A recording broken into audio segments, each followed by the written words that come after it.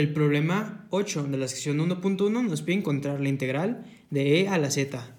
Para esto hay que identificar qué fórmula vamos a usar.